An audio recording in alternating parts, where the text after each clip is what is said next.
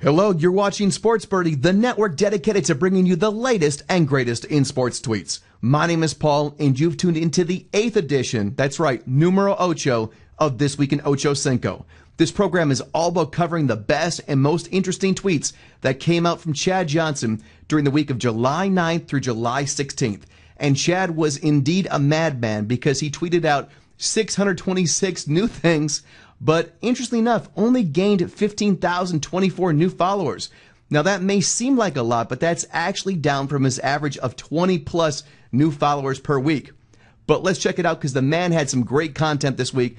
Starting out, he has a, a, tweet here. He says, We out here turned up in the sand. He is working out on South Beach and he's got some NFL players with him.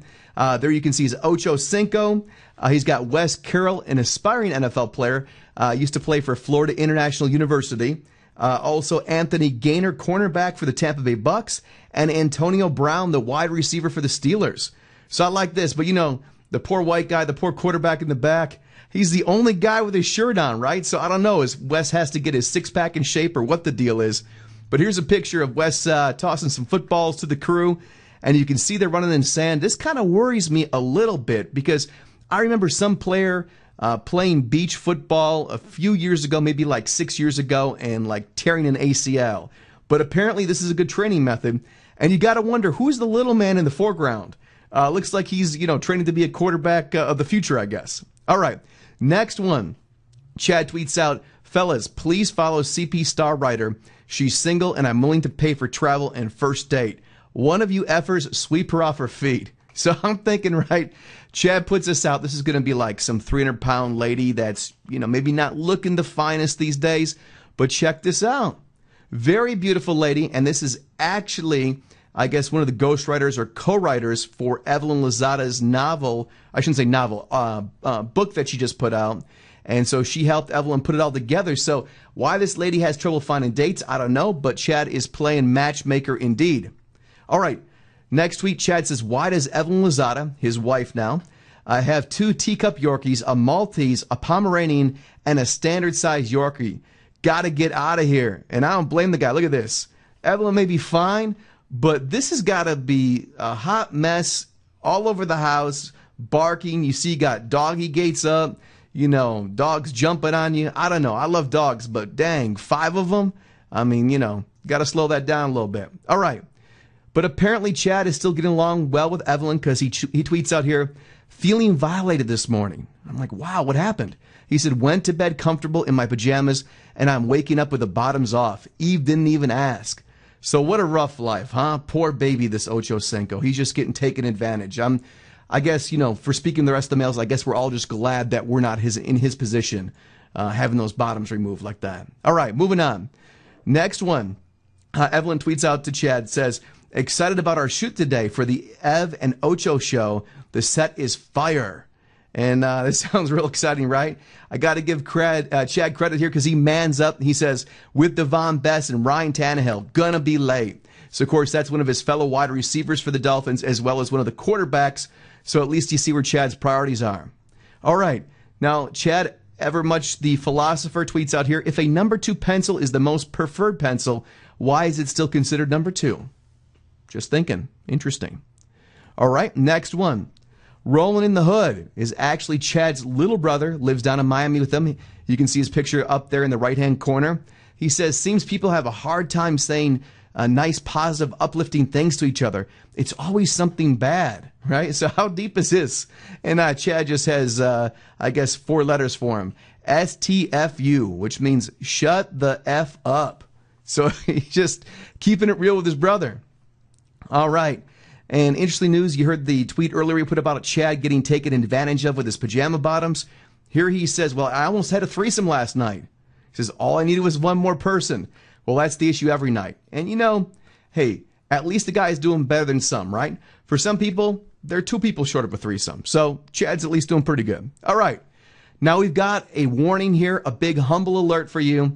Now, it is very, very seldom that in this show we cover any tweets with Chad being humble because that just really doesn't happen. But we found one and we just want to put you on notice that this is coming so you can prepare yourself.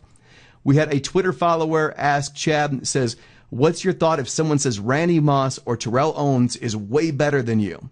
And Chad says, I'm good, but them effers are epic.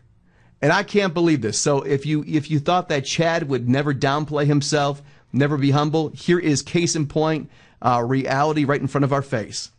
All right, next one. Chad tweets out a picture here. He says, "I was taught to love all," and check this out. He's sporting the hat that says, "I love the haters." But look at this hat. Now, does this not look like a hat that you get the flea market or the swap meet or something, right? Got the big embroidered heart on it. So I, I like the saying, but man, that looks like one of those $3.99 hats. All right. Moving on, this actually became Chad's avatar for the week. He says another solid seven rounds in the book off to LA. And he's got a picture of himself here sparring on the right hand side. Doesn't say who that is in the left, but I like Chad. He's got the Miami uh, Dolphins uh, shirt on and uh, some Rocky Balboa style American flag headgear. So getting some gym work in. All right. Now, Chad is also a big fan of David's Cafe in Miami. He's always there, tweeting pictures from there. And uh, so I was impressed with this. Apparently, someone is raising the rent on David's Cafe, and Chad is trying to come to the rescue here. He says, Anyone know how to get in touch with David Edelstein? Tell him not to raise David's Cafe rent to 60K a month. They're closing now. Now, I haven't been to David's Cafe, but if you could afford to pay 60K in rent a month, that has got to be some expensive food. So hats off to Chad for trying to look out for a small business.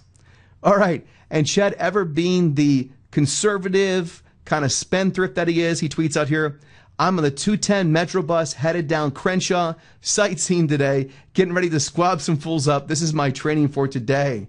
And so, of course, this is when Chad was going out to LA to do training. And uh, the next tweet that comes out from him shortly thereafter says, I'm at the Slauson Swap Meet looking for a fade with the homies. And here are the homies. Now look at this. None of these guys are smiling in this picture, right? All trying to be hard. We're from Crenshaw. We're from Slauson Park. Okay, whatever, right? But when you look at these guys, the guy on the left got a, like a, a polo on, right? The guy in the front, yeah, I don't know, kind of like a little do rag, right? Okay, whatever. But look at the guy in the back. I mean, this guy looks like 135 pounds, maybe, you know, including his sunglasses on his head. And uh, that tank top looks like it came out of the Junior Miss store. So these guys do not intimidate me. But I'll tell you what, who it does intimidate me. Here, Chad says, just see my homeboy Strong Fitness at Simply Wholesome. We go back since 97 when I lived in LA. And look at this. Now, this is somebody in the hood you need to be afraid of right here. This is a one man wrecking crew. All right. And the last tweet for the show, I thought this was hilarious. Uh, one of Chad's followers, Logan Berger, asked him, says, Ocho Cinco, if you could be one white person, who would it be? I thought, well, maybe it's Bill Clinton, right? Or maybe, uh, you know, some other famous intellectual. Oh, Chad's person, Charlie Sheen. So I thought about this, and can you imagine the Armageddon, the chaos that would happen if Chad was actually walking in Charlie Sheen's shoes? And so here we have a little picture. If you can picture uh, Chad on the set of Two and a Half Men, this is what it would look like. We couldn't put the tiger blood in, but we were trying to get that in. But a crazy thought, and I think we will leave it at, at that. So that wraps up episode number eight of This Week in Ocho Cinco. Hope you enjoyed the, stu- the show and stay watching sportsbirdy.com. Thanks much.